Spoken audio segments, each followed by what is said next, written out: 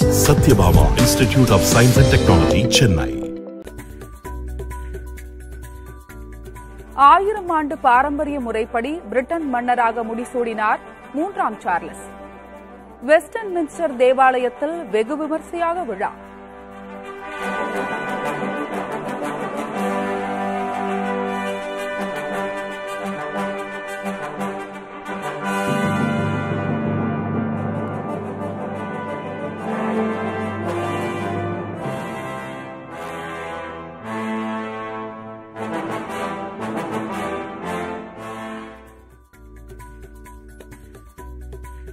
Charles மனைவி கமிலாவுக்கும் முடிசூட்டப்பட்டது பல்வேறு நாடுகளில் இருந்தும் இரண்டாயிரத்திற்கும் அதிகமானோர் பங்கேற்பு.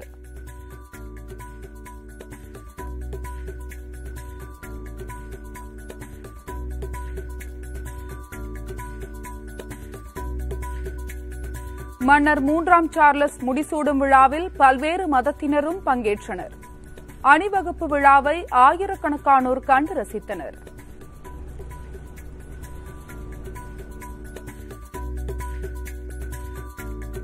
கர்நாடகத்தில் பாரதிய ஜனதா கட்சிக்காக மக்களே சேர்ந்து போராடுகிறார்கள் என பிரதமர் மோடி பேச்சு. இதுவரை காணாத அன்பை பெங்களூரு மக்களிடையே தரிசிப்பதாக ஒருக்கம்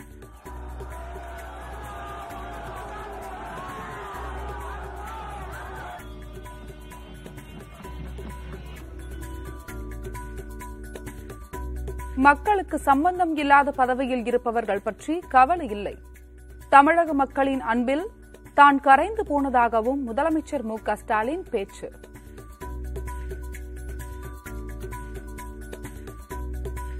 ஒரு லட்சம் பேருக்கு முதியோர் உதவித்தொகை வழங்கும் திட்டம் தொடங்கி வைப்பு. கலைவாணர் அரங்கில் நடைபெற்ற நிகழ்ச்சியில் அரசின் இரண்டாண்டு சாதனை மலரையும் வெளியிட்டார் முதலமைச்சர் ஸ்டாலின்.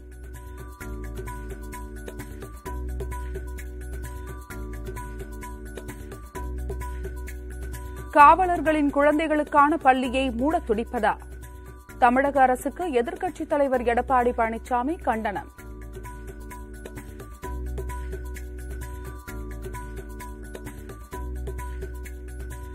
எதிர்க்கட்சியாக இருக்கும்போது ஆளுநர் தேவை ஆளும் கட்சியாக இருக்கும்போது ஆளுநர் தேவையில்லை என்று கூறுவதா? புதுச்சேரி துணைநிலை ஆளுநர் தமிழிசை சவுந்தரராஜன் கேள்வி.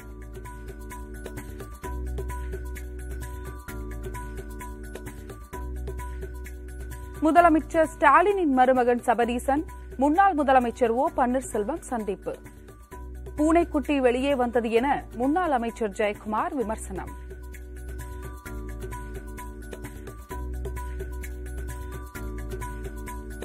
சென்னை கோயம்பேடு பகுதியில் விடுதியில் துப்பாக்கியுடன் இருந்த இளைஞர்கள். கேரளா மற்றும் கர்நாடகாவை சேர்ந்த நான்கு பேரிடமும் காவல்துறை விசாரணை.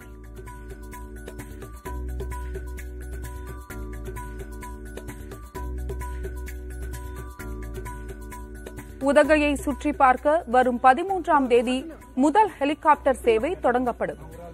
தமிழக சுற்றுலாத்துறை அமைச்சர் ராமச்சந்திரன் அறிவிப்பு.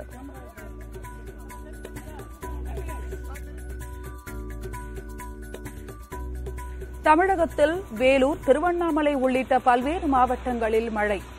கோடை வெப்பம் தணிந்ததால் மக்கள் மகிழ்ச்சி.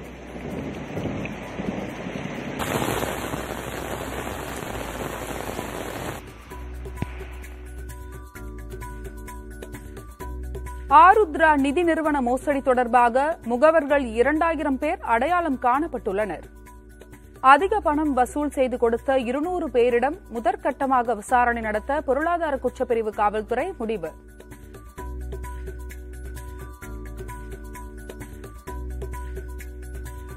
வேங்கை வயலில் குடிநீர் தொட்டியில் மனித கழிவு கலந்தது தொடர்பாக நீதிபதி தலைமையிலான ஆணையம் விசாரணை. அறிவியல் பூர்வமான விசாரணையின்படியே குற்றத்தை கண்டுபிடிக்க முடியும் என நீதிபதி பேட்டி.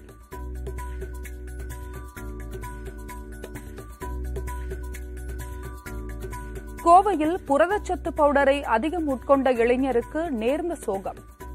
சிறுநீரக பாதிப்பு ஏற்பட்டு திடீரென உயிரிழந்ததால் தந்தை புகார்.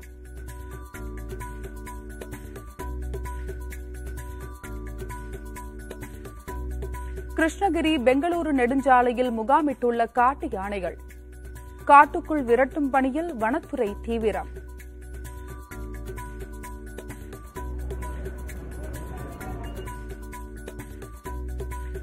தேனி மேகமலையில் அரிசி கும்பன் யானை நடமாட்டம் எதிரொலி. சுற்றுலா பயணிகள் செல்ல தடை விதித்தது வனத்துறை.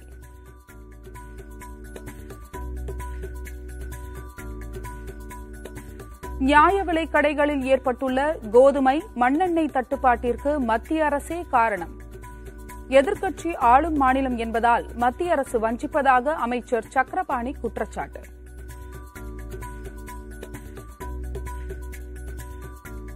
நாளை உருவாகும் என கணிக்கப்பட்ட காற்றழுத்த தாழ்வு பகுதி நாளை மறுநாள் உருவாகும் என அறிவிப்பு.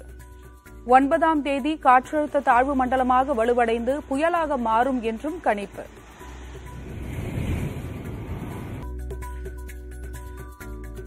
ஏர் இந்தியா விமானத்தில் பெண் பயணியை நடுவானில் தேள் கொட்டியது.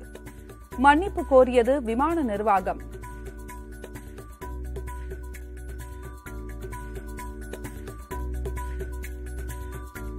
எல் கிளாசிகோ மோதலில் சென்னை அணி வெற்றி. புள்ளி பட்டியலில் இரண்டாவது இடத்திற்கு முன்னேற்றம்.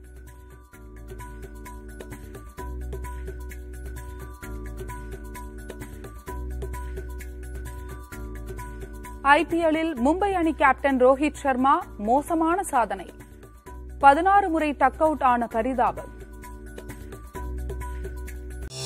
Sathyabama institute of science and technology Chennai